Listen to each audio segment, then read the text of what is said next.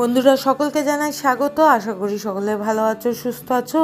আর অনেক দিন পর একটা মিনি ব্লগ নিয়ে চলে এলাম। যদিও এই ভিডিওটি অনেক দিন আগেকার, আসলে কয়েকদিন আগে গেছিলাম ভাইকে নিয়ে একটি বিশেষ জায়গায়। আর দেখো, মুখে মাস্ক পরা, রাস্তায় এত ধুলোবালি ওড়ে, আর আমার ডাস্ট অ্যালার্জি আছে, তাই মাস্ক পরেছি। আর তাছাড়াও মাস্ক পরা এখন অবশ্যই সবারই উচিত যে পরিমাণ ডাস্ট ওড়ে। তো যাই হোক, এই চলতে চলতে পৌঁছে গেলাম।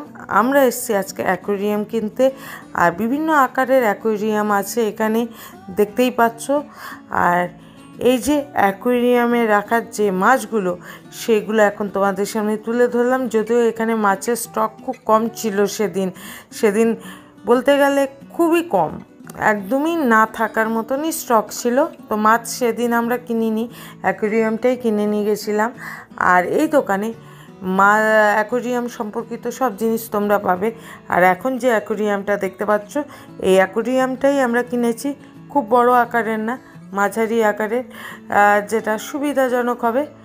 আর এই যে মাছটি, এই মাছটি খুব অ্যাগ্রেসিভ এর নাম হচ্ছে হর্নফিশ আর এর সবচেয়ে বিশেষত্ব হলো যে তোমরা অ্যাকোরিয়ামের ওয়ালে, কাচের ওয়ালটায় যেদিকেই তুমি পয়েন্ট আউট করবে মাছটা ঠিক সেই দিকেই চলে যাবে।